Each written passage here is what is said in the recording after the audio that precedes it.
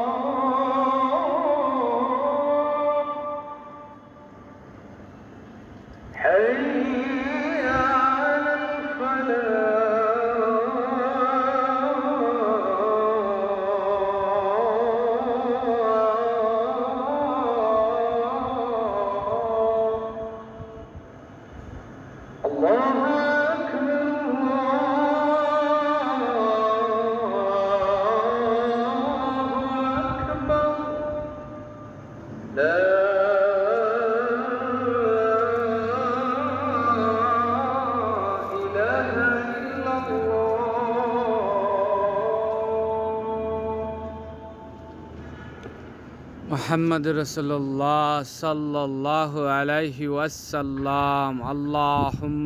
রাব্বানা ইন্না কালাহ তুকলিফুন মিয়াদ যে ব্যক্তি আজান শোনার পর এই দোয়া পাঠ করবে তার জন্য জান্নাত ওয়াজিব হয়ে যাবে সুবাহান আল্লাহ অবশ্যই শেয়ার করবেন ইনশাআল্লাহ